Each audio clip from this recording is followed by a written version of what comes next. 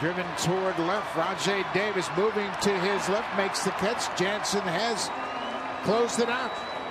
A beautiful job by the pitching staff tonight. The bullpen was terrific. The difference in the ball game, Jose Bautista's third homer of